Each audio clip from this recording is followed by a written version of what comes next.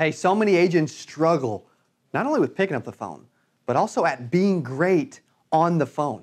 But you got to remember, you're never going to be perfect at something that you don't start. What's that? what's the old saying? 10,000 hours to mastery.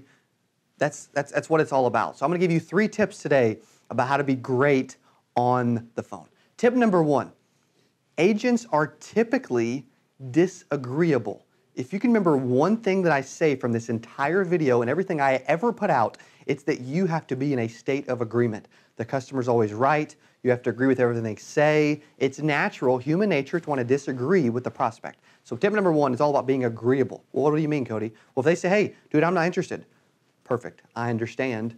Then continue and then ask. So tip number one is be agreeable. That'll get you a long way on the phone to getting them to stay on the phone because if you get offended, if you get disagreeable, they're not going to talk to you. So tip number one is be and stay agreeable the entire time. When you get objections, be agreeable.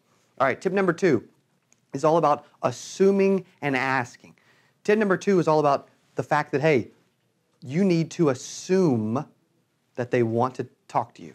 You need to assume that they are going to stay on the phone the entire time. You need to assume that they're going to answer your questions. You need to assume that they're going to talk more than you do, and you need to assume that they're going to do business with you every step of the way. That's one thing that I can that I can let on is when I'm on the phone, that person knows the entire 20 minutes or 40 minutes or 1 hour that I'm on the phone with them that I'm expecting them to do business today and that every step of the way is a build up to them doing business. And so naturally, they kind of expect it along the way so that when I get to the ask, it's not as big of a deal because, dude, they, that dude, he expressed that I was going to do business with him the whole time, all along. So not only are you assuming, but don't forget the ask.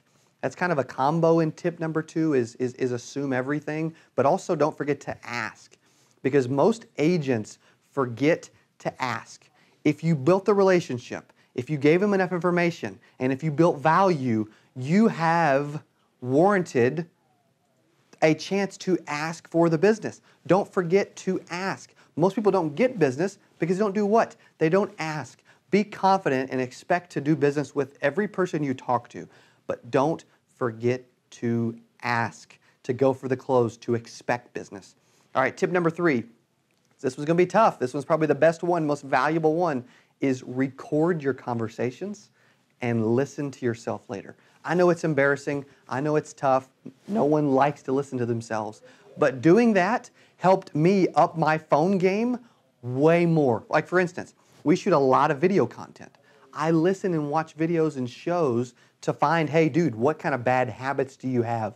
What can you improve at? The same thing can be said for when you're selling a prospect, when you're trying to set an appointment, when you're trying to telesale. Record your calls and listen to them later. I promise you, this will be the best thing you ever do. You'll learn so much about yourself. It'll reveal all your bad habits. You'll say, you, will learn by listening. Hey, I shouldn't have said that. That was dumb. That was stupid. Oh, that was great. I need to keep doing more of that. And so you'll learn from those recordings what you continue to do and what you need to do to be better at being incredible on the phone. So these are my three tips for getting better at using the telephone, whether it's appointment setting, going out in the field, or over the phone.